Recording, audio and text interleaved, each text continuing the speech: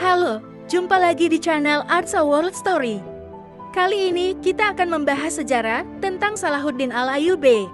Seorang tokoh Islam yang berhasil memenangkan perang salib dan merebut kembali kota Yerusalem dari tangan tentara salib. Bagaimana kisahnya? Tonton terus sampai habis. Sebelum menonton jangan lupa like, komen, dan subscribe channel kami. Agar kami lebih semangat lagi untuk membuat konten-konten informatif lainnya. Selamat menonton!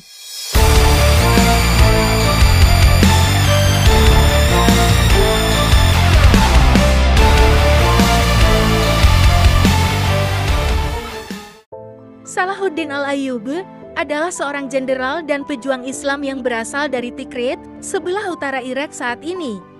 Orang-orang Eropa mengenalnya sebagai Saladin, seorang jenderal hebat yang gagah berani memerangi tentara salib. Selain itu, Salahuddin Al-Ayyubi dikenal sebagai pendiri dinasti Ayyubiyah, yang kekuasaannya meliputi Mesir, Suriah, Mekah, Madinah, sebagian Yaman, Irak, dan Palestina.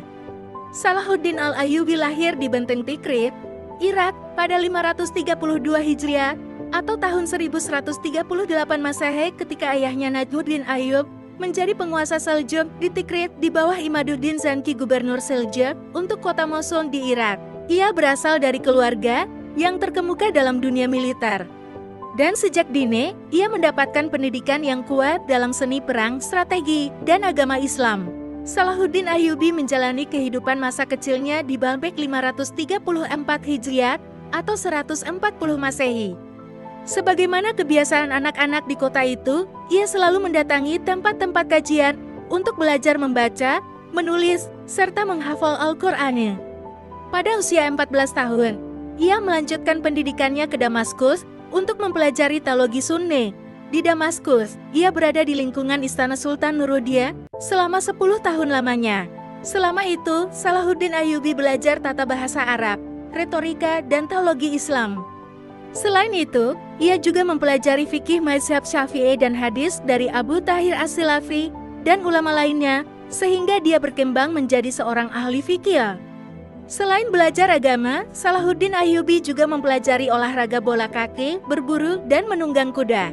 Ketika Salahuddin Ayyubi lahir, Baitul Maqdis masih dikuasai tentara salib.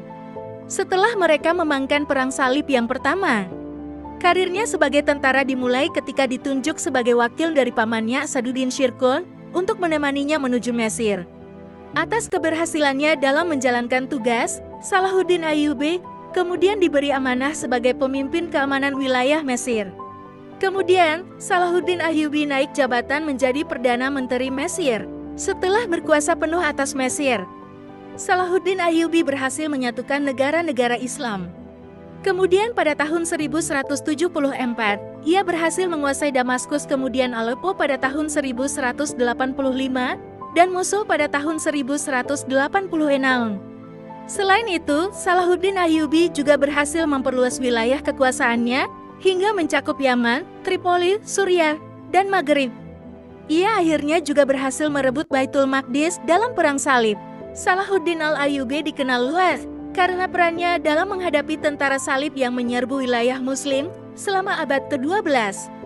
Puncak kepemimpinannya adalah ketika ia merebut kembali Yerusalem dari tangan tentara salib pada tahun 1187 Masehi.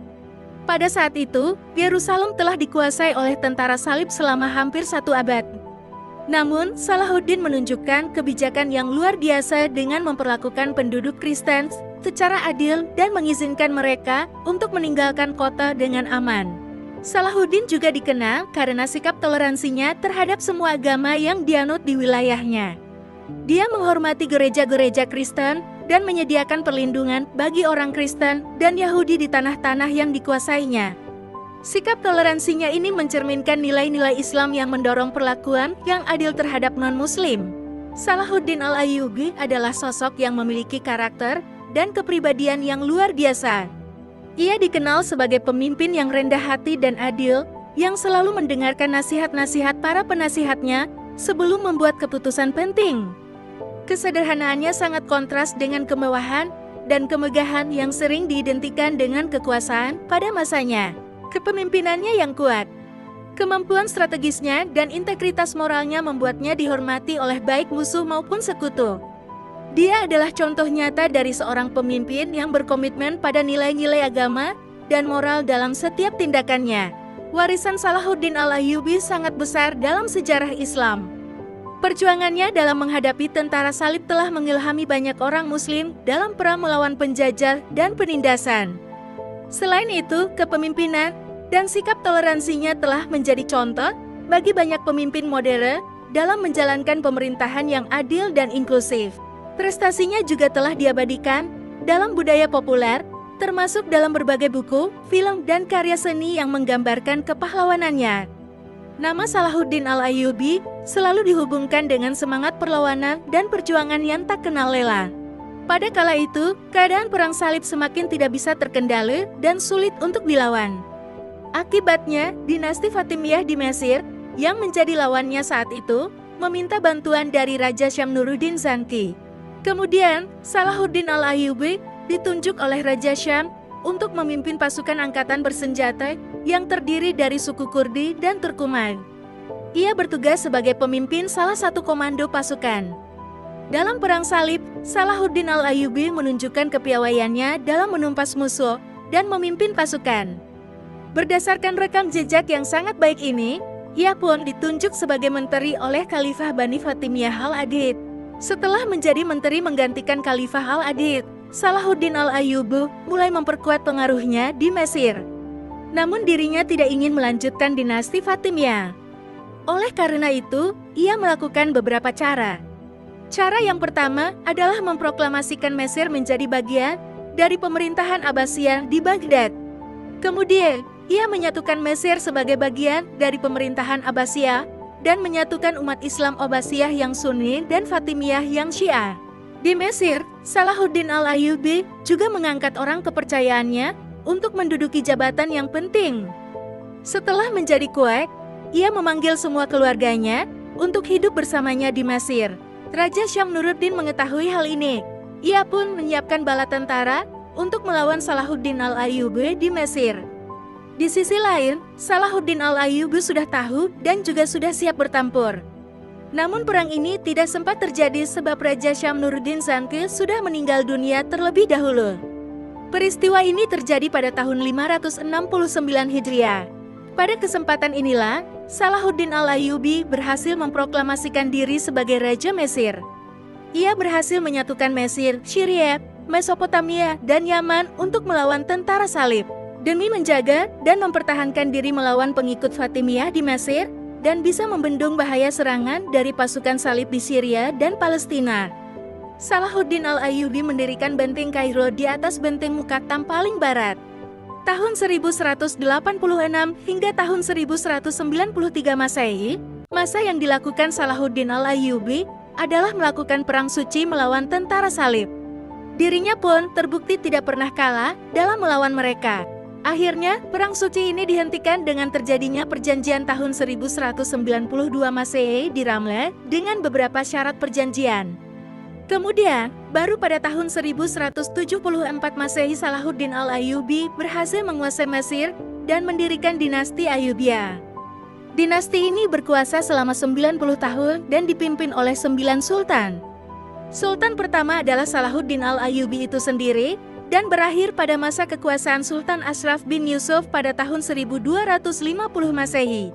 Salahuddin Ayyubi wafat pada 4 Maret tahun 1193 di Damaskus dengan mewariskan seluruh hartanya berupa sepotong emas dan 40 keping perak pada orang-orang miskin. Di akhir hidupnya, diketahui bahwa Salahuddin Ayyubi hidup dalam keadaan miskin. Dia hanya mempunyai selembar kain kafan lusuh yang selalu dibawanya dalam setiap perjalanannya dan uang senilai 66 dirham. Penyebab kematian Salahuddin Ayyubi kala itu jadi misteri. Ia hanya dilaporkan mengalami demam. Belakangan, misteri itu terkuak. Dengan mengandalkan petunjuk catatan gejala-gejala medis yang dialami Salahuddin Ayyubi yang ditulis lebih dari 800 tahun yang lalu. Seorang dokter akhirnya menentukan penyakit apa yang menimpa Sultan yang perkasa itu.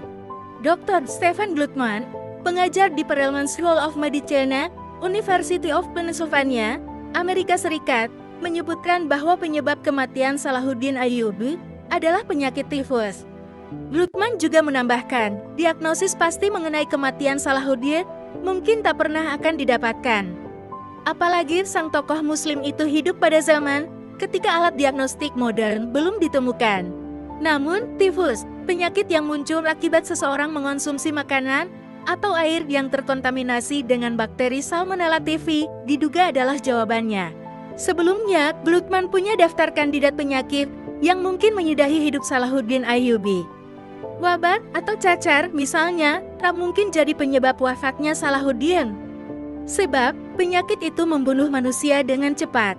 Salahuddin Al-Ayyubi adalah salah satu pahlawan Islam yang paling dihormati dalam sejarah. Dia tidak hanya dikenal sebagai pemimpin militer yang ulung, tetapi juga sebagai pahlawan yang memiliki integritas moral yang tinggi. Perjuangannya dalam menghadapi tentara salib dan peninggalannya yang besar telah menjadikannya teladan bagi banyak orang dalam mengabdikan diri pada nilai-nilai agama, keadilan, dan toleransi. Salahuddin Al-Ayyubi adalah simbol kekuatan dan martabat Islam yang akan terus diingat oleh generasi-generasi masa depan. Sekian dulu video kali ini. Terima kasih sudah menonton. Sampai jumpa di video berikutnya.